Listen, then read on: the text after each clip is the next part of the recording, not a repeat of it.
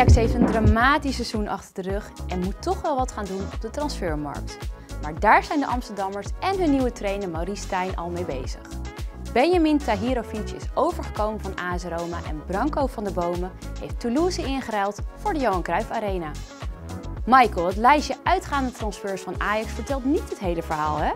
Wat is daar allemaal gaande in Amsterdam? Dat vertelt zeker niet het hele verhaal, want er, uh, gebeurt een, eh, een, hoop in de arena. Uh, Jurien Timber gaat vrijwel zeker naar, naar Arsenal voor een miljoentje of 41. Um, ja, 46 miljoen euro inclusief bonussen.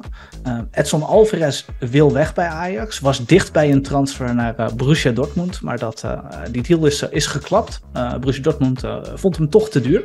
Erg lullig voor Alvarez. Want die was, een halfjaartje geleden was hij dicht bij Chelsea. Een jaartje geleden was hij ook dicht bij Chelsea. Wilde per se vertrekken. ging ook al niet door. Dus die zit huilend thuis waarschijnlijk. Uh, Mohamed Kudus, uh, die wil ook weg. Um, de zaakwaarnemer van, uh, van Mohamed Kudus, die, die leurt met hem over, over de markt. Um, Brighton en Hove Albion lijkt geïnteresseerd te zijn. kost wel wat veel, 40, 45 miljoen euro. Mijn verwachting is dat hij ook wel weggaat. Um, en wat betreft inkomende transfers, Eduard Spetjan, die komt waarschijnlijk naar Ajax. Speler van Krasnodar in Rusland. Was de assistkoning van de, van de Russische competitie vorig seizoen. Kost 12 miljoen euro, zijn uh, dicht bij zijn komst.